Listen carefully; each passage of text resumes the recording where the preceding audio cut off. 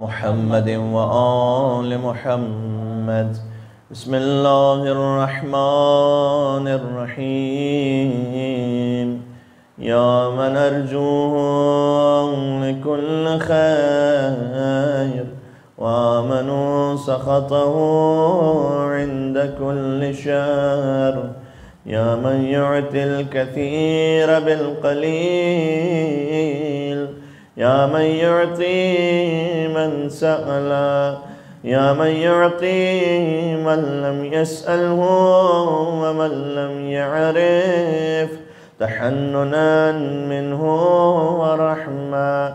أعطني بمسألتي إياك جميع خير الدنيا وجميع خير الآخرة. واصرف عني بمسألتي إياك جميع شر الدنيا وشر الآخرة فإنه غير منقوص ما أعطيت. وزدني من فضلك يا كريم يا ذا الجلال والإكرام.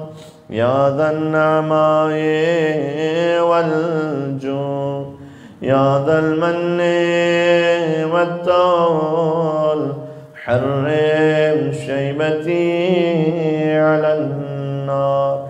بسم الله الرحمن الرحيم. اللهم إني أسألك وأتوجه إليك بنبيك نبي الرحمة. محمد صلی اللہ علیہ وآلہ. یا ابا القاسم، یا رسول اللہ، یا امام الرحمہ، یا سیدنا و مولانا، انا توجہنا واستشفعنا وتوسلنا بك الى الله وقدمناك بين يدي حاجاتنا يا وجيها عند الله. اشفع لنا عند الله. يا أبا الحسن يا أمير المؤمنين يا علي بن أبي طالب يا حجة الله على خلقه يا سيدنا ومولانا إنا توجهنا واستشفعنا وتوسلنا بك إلى الله وقدمناك بين يدي حاجاتنا. يا وجيها عند الله اشفع لنا عند الله. يا فاطمة الزهراء يا بنت محمد يا قرة عين الرسول يا سيدتنا ومولاتنا. إنا توجهنا واستشفعنا وتوسلنا بك إلى الله وقدمناك بين يدي حاجاتنا يا وجيها عند الله. اشفع لنا اشفعي لنا عند الله. يا أبا محمد يا حسن بن علي أيها المجتبى يا ابن رسول الله. يا حجة الله على خلقه. يا سيدنا ومولانا إنا توجهنا واستشفعنا وتوسلنا بك إلى الله. وقدمناك بين يدي حاجاتنا. يا وجيها عند الله اشفع لنا. عند الله. نام ابا عبداللہ الحسین علیہ السلام والسلام ہے. امام زمانہ علیہ السلام نے زیارت ناحیہ میں فرمایا ہے، خدا ہر شخص کو رسوا اور ذلیل کر دے جس نے اے علی اکبر آپ کے قتل میں حصہ لیا۔ اللہ اکبر۔ شہادت چھوڑ دیجیے فقط رخصت فرزند حسین۔ کوئی صحیح طریقے سے محسوس کر لے تو زندگی بھر گریے کے لیے کافی ہے۔ آئے حضرت علی اکبر بابا کے پاس تو فرمایا استأذن أباه فأذن له۔ مقتل میں ہے کہ جیسے ہی جوان نے اجازت طلب کی تو فوراً امام حسین نے اجازت دی۔ باقی شہداء سے کچھ پس و پیش سے کام لیتے تھے، لیکن اپنے علی اکبر کو تو فوراً اجازت دی۔ لیکن اپنی ریش مبارک کو تھام کے فرمایا کہ اللهم اشهد على هؤلاء القوم، پروردگار تو اس قوم پر گواہ رہنا کہ اب وہ جا رہا ہے کہ جو رفتار میں، گفتار میں، بولنے میں تیرے نبی کے مشابہ تھا۔ جب میں اپنے نانا کی زیارت کرنا چاہتا تھا تو علی اکبر کو دیکھ لیتا تھا۔ علامہ ذیشان حضرت جوادی صاحب کہتے ہیں توسل کا موقع ہے تو میں عرض کروں کہ اکبر ایسے نکلے جیسے بھرے گھر سے جنازہ نکل رہا ہو۔ ابھی نکلنا چاہتے تھے علی اکبر کے ایک آواز آئی بھیا، آپ سب سے مل لیے کہ ہم سے مل کر نہ جائیے گا۔ یہ میرے بیمار امام کی صدا تھی کہ جو بستر پر تھے۔ سید سجاد برادر علی اکبر ہے بس ذوالجناح پہ حسین کی سواری ہے ذوالجناح علی اکبر جب سوار ہوئے اپنی سواری پر، تو جیسے ہی آگے بڑھنا چاہتے ہیں تو دیکھا جیسے حسین پیچھے پیچھے چل کر آ رہے ہوں۔ کہ جب تک ممکن ہو تو منہ موڑ موڑ کر اپنا چہرہ دکھلاتے رہنا علی اکبر۔ جب پہنچے ہیں میدان جہاد میں فرمایا أنا علي بن الحسين بن علي، نحن وبيت الله أولى بالنبي میں علی ہوں جو حسین کا بیٹا، وہ حسین کے جو علی مرتضیٰ کے بیٹے ہیں۔ خانہ کعبہ کی قسم، ہم سے کوئی زیادہ نزدیک نہیں ہے محمد مصطفیٰ کے۔ اے شبث، اے شمر پزاد میں شمشیر سے ایسا حملہ کروں گا کہ شمشیر کی تاب ختم ہو جائے۔ بڑا عظیم شان رجز ہے شہزادہ علی اکبر کا ضرب غلام هاشمي علوي یہ ضرب حیدری ہوگی، ضرب ہاشمی ہوگی۔ یا اللہ، ولا أزال اليوم أحمي أبي آخری سانس تک میں اپنے باپ کی حمایت کرتا رہوں گا تاکہ خدا کی قسم تم جیسے بدکاروں کو اپنے انجام تک پہنچا سکوں۔ بے پناہ جنگ کی اس عظیم الشان شہزادے نے پہلے ہی حملے میں دو سو یزیدیوں کو واصل جہنم کیا، واپس پلٹے، کہ بابا آپ نے میری جنگ دیکھی ہے، کہ ایسا لگا جیسے خیبر میں حیدر کرار لڑ رہے ہوں۔ فرمایا، بابا العطش قد قتلني، پیاس نے مار دیا ہے بہت بابا۔ وثقل الحديد قد أجهدني، گرانی آہن نے بوجھ بڑھا دیا ہے بابا۔ حسین نے اپنی زبان علی اکبر کے منہ میں دی۔ اکبر فوراً پیچھے ہٹ گئے کہ بابا، آپ تو مجھ سے بھی زیادہ پیاسے لگ رہے ہیں، بابا۔ یہ کیوں کیا حسین نے؟ اللہ جانتا ہے۔ علماء کہتے ہیں، شاید وجہ یہ ہو کہ ویسے تو معیوب ہے نا کہ ایک بوڑھا باپ اپنے جوان بیٹے کے لبوں کو چومیں لیکن حسین چاہتے تھے کہ میں ایک اور آخری بار اپنے نانا رسول اللہ کے لبوں کو چوم لوں۔ لہٰذا علی اکبر کے لبوں کا بوسہ لیا۔ اکبر نے کہا، بابا، آپ مجھ سے بھی زیادہ پیاسے ہیں۔ کہا، نانا، جاؤ، نانا رسول اللہ تمہیں سیراب فرمائیں گے۔ یعنی امام حسین کے ایک ایک لفظ میں مصلحت ہے۔ امام حسین نے کیوں کہا جاؤ نانا رسول اللہ سیراب فرمائیں گے؟ یعنی کہنا چاہتے تھے حسین اب واپس نہ آنا، پلٹ کر جاؤ تم۔ علی اکبر واپس پلٹے تو حصین ابن نمیر نے اکبر کے سینے پر وار کیا۔ برچھی کا ٹوٹا ہوا پھل۔ حسین اپنے علی اکبر کے پاس پہنچے، اس عالم میں کہ کبھی اٹھتے تھے، کبھی گرتے تھے، کبھی دائیں گرے، کبھی بائیں گرے۔ حسین جب عالم میں پہنچے اپنے جوان کے پاس توسل کے لیے، اگر آپ آہ بھر کر گریہ کر سکیں، حسین نے دیکھا جوان بیٹا ایڑیاں رگڑ رہا ہے۔ سلام اس حسین پر۔ جو کام جون کے ساتھ کیا، وہی علی اکبر کے ساتھ۔ فوضع خده على خده حسین نے اپنا رخسار علی اکبر کے رخسار پر رکھ دیا۔ اور اب وہ جملہ ارشاد فرمایا جو کسی شہید پر نہیں ہے۔ فرمایا بیٹا على الدنيا بعدك العفا۔ بیٹا، آپ کے بعد دنیا کی زندگی پر خاک ہے۔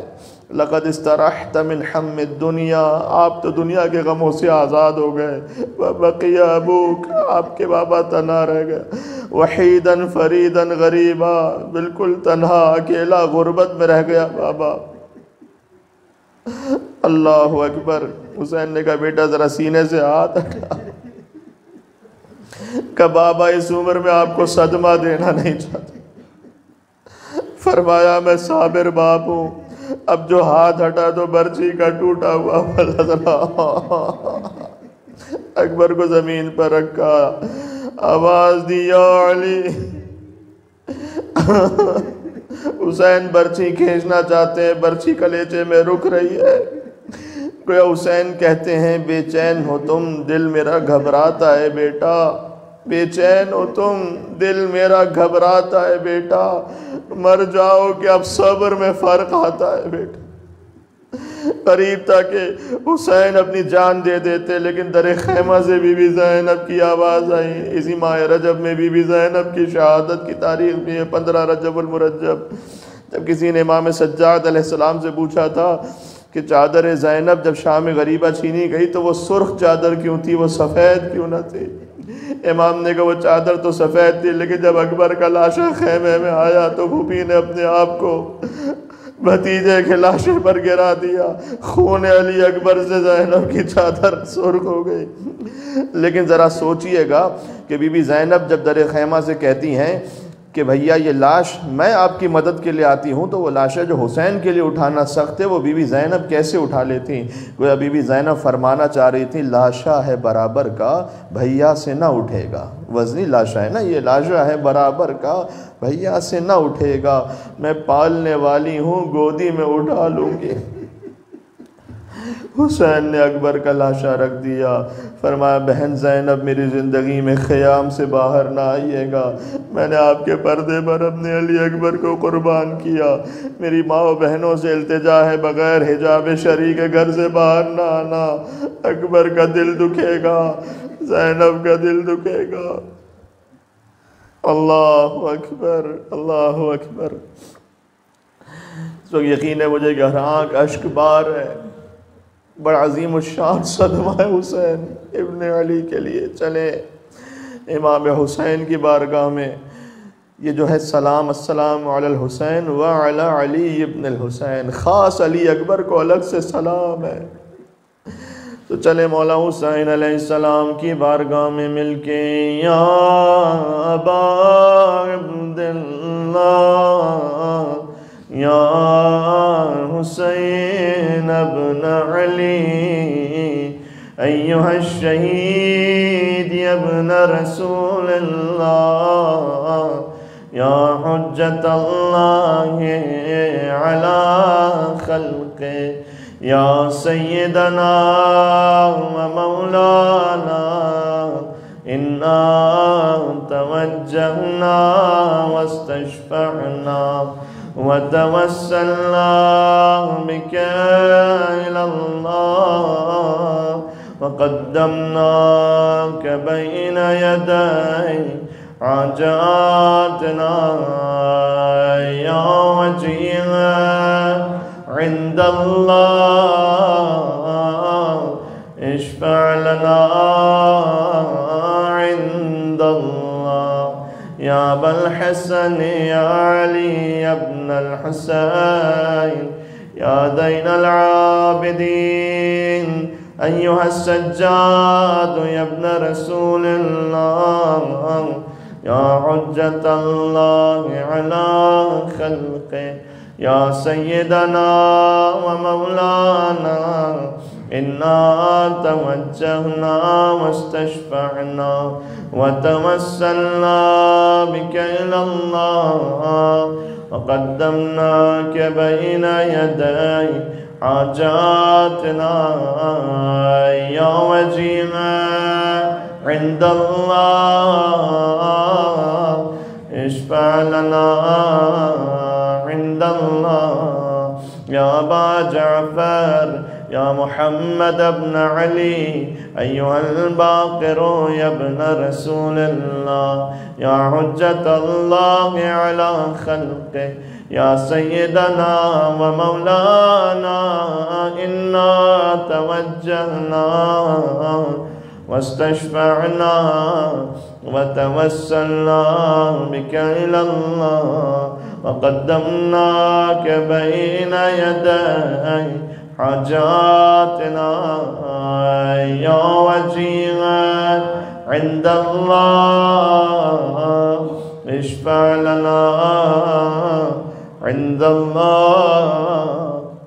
يا أبا عبد الله يا جعفر بن محمد أيها الصادق يا ابن رسول الله يا حجة الله على خلقه يا سيدنا ومولانا إنا توجهنا واستشفعنا وتوسلنا بك إلى الله وقدمناك بين يدي حاجاتنا يا وجيها عند الله اشفع لنا عند الله يا أبا إبراهيم يا أبا الحسن يا موسى بن جعفر أيها الكاظم يا ابن رسول الله. يا حجة الله على خلقه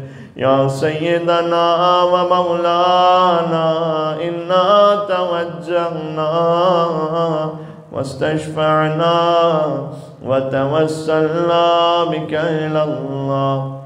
وقدمناك بين يدي حاجاتنا يا وجيها عند الله. اشفع لنا عند الله يا أبا الحسن يا علي يا ابن موسى أيها الرضا يا ابن رسول الله. يا حجة الله على خلقه. يا سيدنا ومولانا إنا توجهنا واستشفعنا وتوسلنا بك إلى الله. وقدمناك بين يدي حاجاتنا.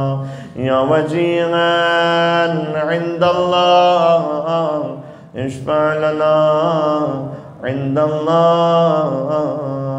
يا أبا جعفر يا محمد بن علي أيها التقي الجواد يا ابن رسول الله يا حجة الله على خلقه يا سيدنا ومولانا إنا توجهنا واستشفعنا وتوسلنا بك إلى الله.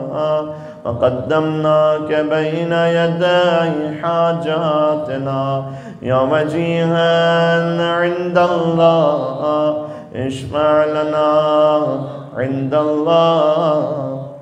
يا أبا الحسن يا علي بن ال... يا علي بن محمد أيها الهادي النقي يا ابن رسول الله. يا حجة الله على خلقه يا سيدنا ومولانا إنا توجهنا واستشفعنا وتوسلنا بك إلى الله. وقدمناك بين يدي حاجاتنا يا وجيها عند الله. اشفع لنا عند الله. يا أبا محمد يا حسن بن علي أيها الذكي العسكري يا ابن رسول الله يا حجة الله على خلقه يا سيدنا ومولانا إنا توجهنا واستشفعنا وتوسلنا بك إلى الله وقدمناك بين يدي حاجاتنا. يا وجيها عند الله اشفع لنا عند الله.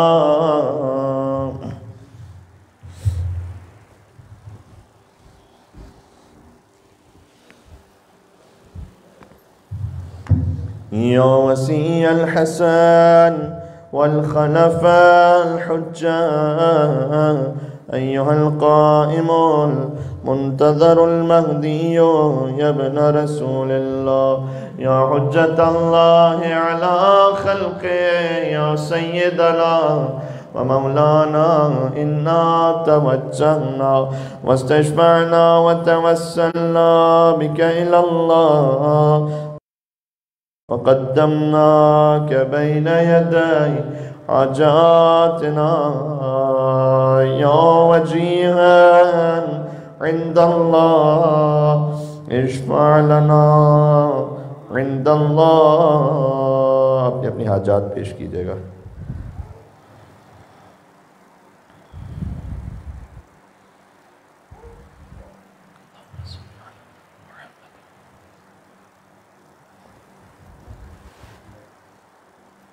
اللهم ادخل على أهل القبور السرور. اللهم اغني كل فقير. اللهم اشبع كل جائع.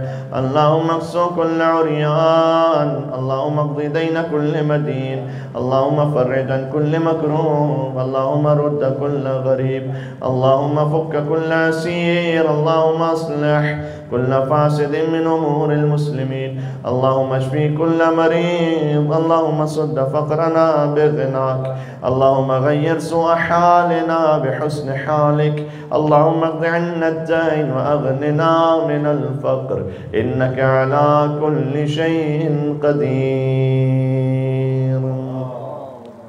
يا سادتي وموالي إني توجهت بكم أئمتي وعدتي ليوم فقري وفاقتي إلى الله. وحاجتي إلى الله وتوسلت بكم إلى الله واستشفعت بكم إلى الله. فاشفعوا لي عند الله واستنقذوني من ذنوبي عند الله. فإنكم وسيلتي إلى الله وبحبكم وبقربكم أرجو نجاة من الله. فكونوا عند الله رجائي يا سادتي يا أولياء الله. صلى الله عليهم أجمعين ولعن الله أعداء الله ظالميهم من الأولين والآخرين آمين يا رب العالمين. اللهم صل على محمد وآل محمد. السلام عليك يا أبا عبد الله وعلى الأرواح التي حلت بفنائك.